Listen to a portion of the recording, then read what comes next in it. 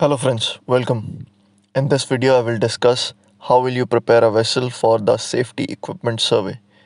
Let's get started. To remember it easily just think safety equipment. What are the safety equipments on board? We have three basic categories that you need to take care of. One is called life-saving appliances, firefighting appliances, and there are other items which are related to navigation and few other equipments which I'll discuss. So when preparing for the survey, starting with the LSA, you must check the muster list. It is updated and posted in the conspicuous position. The muster list must have all the information as per SOLAS Chapter 3 Regulation 37. Then the life jacket donning instruction must be posted in the conspicuous position. Emergency stations directed by the arrow. Now that you're proceeding towards the emergency station, the lifeboats and associated equipments must be maintained and should be in good condition. In the emergency stations, you'll also find life rafts. So just be sure that life raft annual service has been carried out and it is marked as per SOLAS. Now, if all the survival crafts are maintained, it is important that you see that the launching instructions of all the survival crafts are displayed near the crafts. Then you can expand the LSAs with the number of life buoys must be as per the SOLAS, their marking, symbols, lifelines, smoke signal must be in good condition. The bridge pyrotechniques must be sufficient in number and in good condition as per SOLAS. The team on the bridge may also check the general alarm, handheld walkie-talkies, and the emergency lightings. Although we had used the term lifeboats and associated equipments must be maintained, but with the associated equipment, you can also mention that life jackets, immersion suits, they must be in proper number and in good condition. Coming on to the second category now, firefighting appliances. Here we start with the fire control plan. It must be displayed in the conspicuous place. Then copies of fire plan must be available in the fire wallets. Now that you have checked the fire control plan and its associated requirement, like having the latest crew list, muster list, and stowage plan into the fire wallet. Then it's time that you check that in case of any fire, your detection system is working good. So fire detection system must be in good condition. Then in case of the fire, first thing that you need is main and emergency fire pump.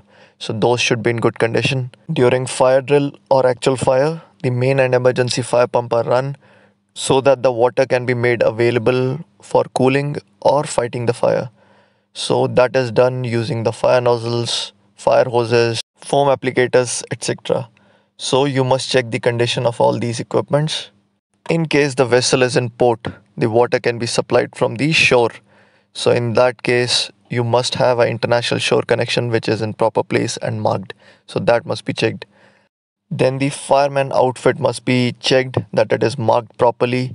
All associated equipments are adequate as per SOLAS and in good condition number of firemen outfit, BA, air bottle pressure must be adequate as required by SOLAS and in good condition.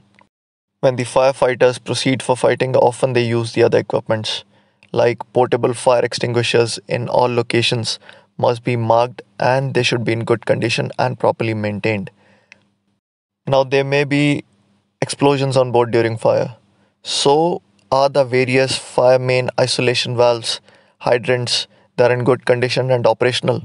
And finally, one of the biggest help in firefighting, all the fixed fire extinguishing system that is available on board, is it in good condition? So guys, LSA FFA I have tried to form our sequence like drill or actual fire drill. And as you move along the drill in your mind, you should be able to remember all these equipments and thus answer this question. And now I'll talk about the other items. Other items, let's start from the bridge.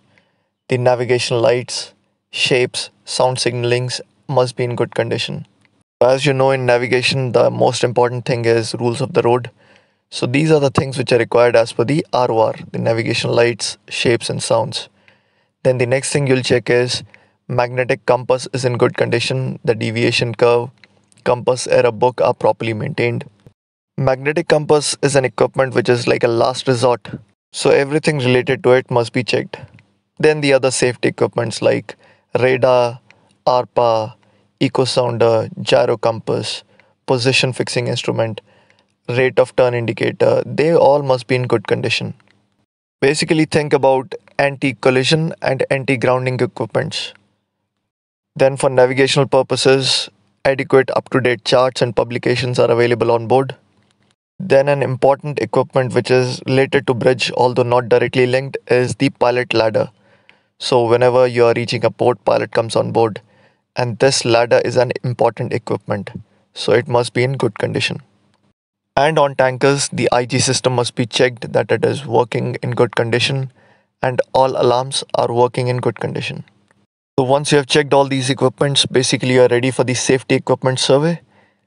Also, it's a good idea to mention the SMS and the Form E of the safety equipment service certificate.